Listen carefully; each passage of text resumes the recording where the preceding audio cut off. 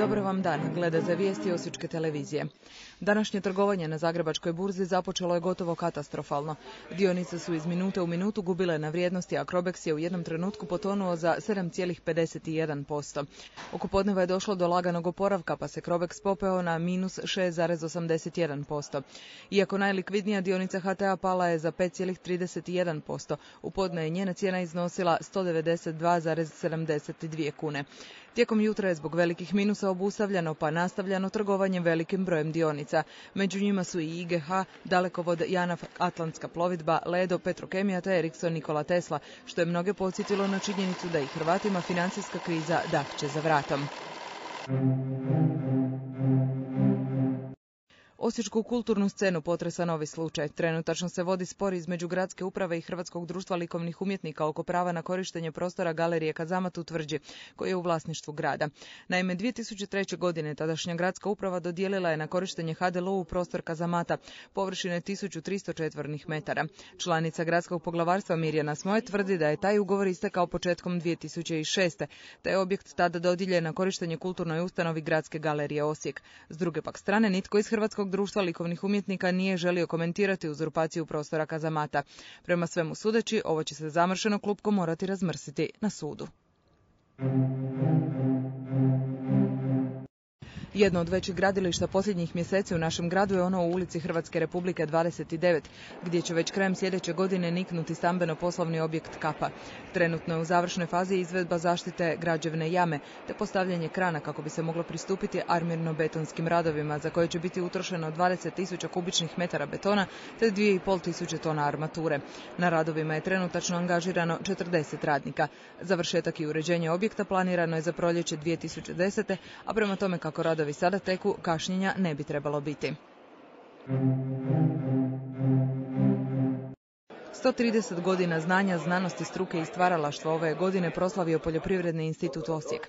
Pšenica, kukuruz, soja, suncokreti i poboljšanje brojnih drugih životno esencijalnih proizvoda, ali i pitanja uzgoja sjemena, zatim i znanost, stvaralaštvo, odlike su Poljoprivrednog instituta, najstarije poljoprivredne institucije u Hrvatskoj.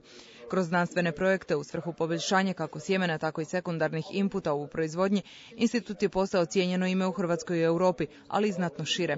Svečanost proslave godišnjice okupila je velik broj zaposlenika te stručnih i znanstvenih suradnika, kao i poznatih lica iz politike, kulture i obrazovanja. Gradsku upravu posjetili su članovi udruge oboljelih branitelja Istočne Slavonije, te tom prigodom zatražili financijsku pomoć za njihovog člana Srećka Josića. Josić je naime dobio termin za neophodnu operaciju u bolnici u Clevelandu 15. prosinca. Troškove operacije u iznosu oko 25 tisuća dolara snosit će Dino Rađa, a još je potrebno 90 tisuća kuna za kako je istaknuto troškove puta. Budući da su, kako je naglasio gradonačelnik Gordan Matković, proračunska sredstva raspoređena, grad će za ovu svrhu osigurati inicijalna sredstva te uputiti zamolbu za pomoć poslovnim subjektima u ime grada kao pokrovitelja kako bi se do 5. prosinca prikupio potreban iznos. Međunarodni dan djeteta 20. studenoga u cijelom je svijetu prigoda da djeca i teme bitne za njihov život dospiju u središte pozornosti. Osim dostupnosti obrazovanja, zdravstvenih usluga, socijalne skrbi i ostalih dobrobiti koje osiguravaju opstanak i razvoj djece, prilika je to i za postavljanje još nekih važnih pitanja. Moramo se zapitati kakav je položaj djece u društvu, kakav je njihov utjecaj na donošenje odluka koje se tiču njihova života, imaju li djeca uvijek priliku reći što misle o pitanjima koja su za njih važna. Glazbena škola Franje Kuhača u Osijeku danas obilježava Dan ustanove.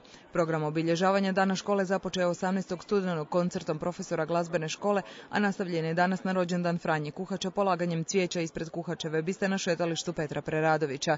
Koncert učenika Osječke glazbene škole te prijateljskih glazbenih škola iz Rijeke i Zagreba počinje u 19 sati.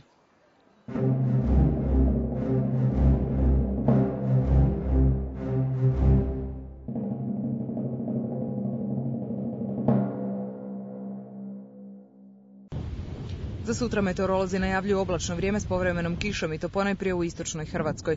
Uz umiren do jak jugozapadni vjetar, jutarnja će temperatura biti oko 5, a najviša dnevna između 9 i 14 Celzijevih stupnjeva.